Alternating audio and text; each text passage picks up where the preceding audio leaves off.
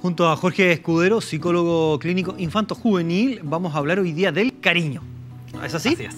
Del cariño. ¿Cariño bueno o cariño malo? Sí, vamos a hablar sobre los cariños buenos, los cariños malos, esto en el marco de la prevención de las agresiones sexuales contra los niños y las niñas. Correcto. ¿Qué sucede con los cariños? La persona que intenta agredir sexualmente a un niño hace que estos cariños que él o ella va a entregar se camuflen con manipulaciones, humillaciones o con la agresión sexual misma. Entonces, dentro de esta gran categoría de cariños, es importante que en la casa vayamos hablando sobre los cariños buenos y los Sí. cariños malos. De ahí nace es- estos dos conceptos. Y, y eso, eso significa hablar con nuestros hijos, ¿no es cierto? Y poder explicarle en términos simples qué significa esto.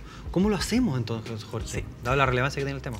Primero hablamos sobre los cariños buenos y vamos a decir, primero comprendamos que son todas las expresiones, los contactos físicos que nos hacen sentir bien, cómodos y queridos. Por ejemplo, le podemos decir a los niños, ¿te acuerdas cuando estuviste de cumpleaños y vinieron tus amigos, te dieron la mano, te dieron un abrazo y te dieron un regalo? Te sentiste bien, cómodo y querido. Entonces, ese es un cariño bueno, ¿sí? En contraposición a estos cariños también están los cariños malos. Y dentro de este tipo de cariños, de forma lamentable, en muchas ocasiones nos vemos expuestos a, eh, a que los niños puedan vivir algunas situaciones que los dejan expuestos a vulneraciones. Por ejemplo, eh, los cariños malos cuando alguien los hacen sentir incómodos o con dolor.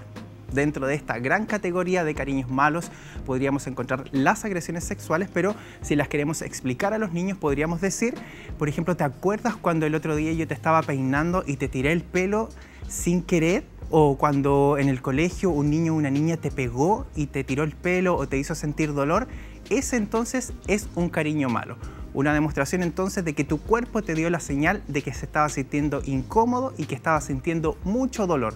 Los cariños buenos y los cariños malos entonces ayudarán a que los niños vayan comprendiendo paso a paso las señales que su cuerpo les entrega para poder defenderse y pedir ayuda a un adulto de confianza cuando sea necesario.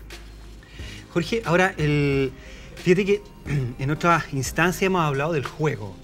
Eh, nosotros podemos también apoyarnos desde el juego para poder enseñar esto.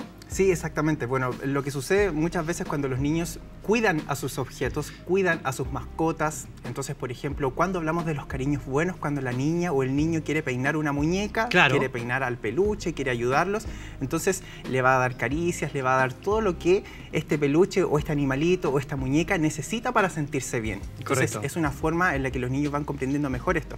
Siempre tengamos en cuenta que cuando queremos enseñar una habilidad a los niños, tenemos que ocupar personajes que sean similares a ellos Exacto. o bien usar animales, que son como los símiles. Cuando un mensaje se entrega, por ejemplo, cuando hablamos de la tortuga, el perrito, el osito, eh, el león, entonces ellos pueden comprender, ah, este animal significa algo y yo puedo sentirme representado con este Claro, animal.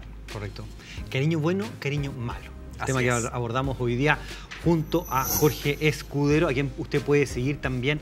Es vecino en Psicólogo Sí, en Casa. el mismo barrio. Psicólogo en casa, Instagram, Facebook o YouTube, para que nos mantengamos en contacto también. Exacto.